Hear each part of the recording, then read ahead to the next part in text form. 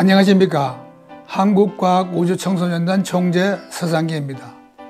해마다 10월 4일부터 10일까지 한 주간은 유엔에서 제정한 세계 우주주간입니다. 세계 우주주간은 글로벌 우주축제이며 전 세계에서 다양하고 의미 있는 행사가 개최되고 있습니다.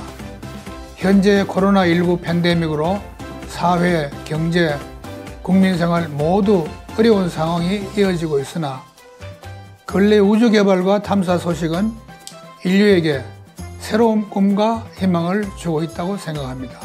미국을 중심으로 다시 유인 달 탐사 계획이 진행되고 있으며 올해만 해도 UAE와 중국의 화성 탐사선이 성공리에 발사되었습니다.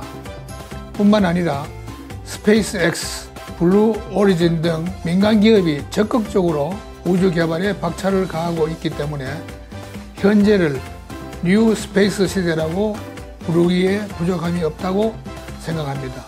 저희 한국과학우주 청소년단은 과학기술정보통신부의 후원을 받아서 2020년 세계 우주주간에 우리 청소년들에게 양질의 교육 콘텐츠를 제공하고자 온라인 우주교실을 오픈하게 되었습니다.